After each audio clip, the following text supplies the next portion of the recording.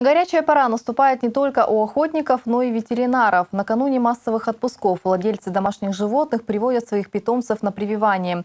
Наличие справки о сделанных прививках гарантирует хозяину зеленый свет на проезд во всех видах транспорта. Приучаем. Же охотничья собака все-таки. Взяли специально для охоты. Для четырехмесячного Джонни поездка на охоту будет первой за пока непродолжительную жизнь. Но перед тундрой и первыми попытками охоты за дичью необходимо привиться. Хозяин Сергей Пономарев привез питомца уже на четвертую прививку. В этот раз от бешенства. Эта вакцина необходима каждому домашнему животному. Рабикан – это бесплатная государственная вакцина, которая э, идет по федеральному ну, короче, бесплатно. Мы ее прививаем э, по четвергам, потому что четверг – это как бы общий день для прививок.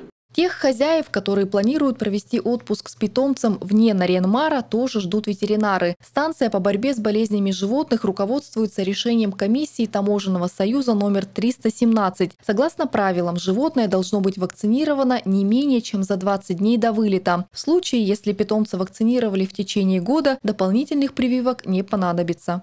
Для собак обязательно является прививка против э, бешенства, чумы плотоядных, лептоспироза, паровирусного энтерита. Э, для кошек э, необходимо провести вакцинацию против бешенства, панлейкопении, ринорахита, кальцивироза.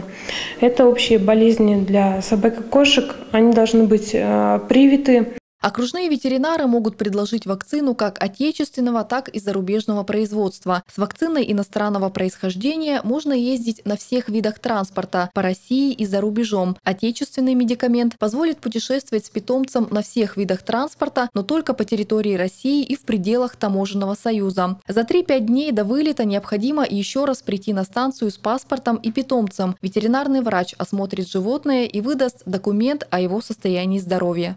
Сопроводительные документы, если по территории э, стран таможенного союза, это Казахстан, Белоруссия, будет ветеринарный сертификат для провоза животных по территории Российской Федерации или за границу ветеринарное свидетельство.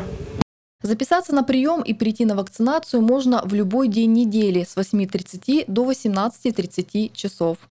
Валентина Чибичек, Дмитрий Лукевич, Антон Водряков, телеканал «Север».